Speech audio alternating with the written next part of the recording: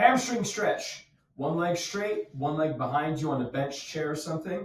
And from here, having your toes straight, lean as far forward as you can while keeping this leg as straight as you can. The farther back this leg is, and the farther you lean forward, the more hamstring stretch you're going to get.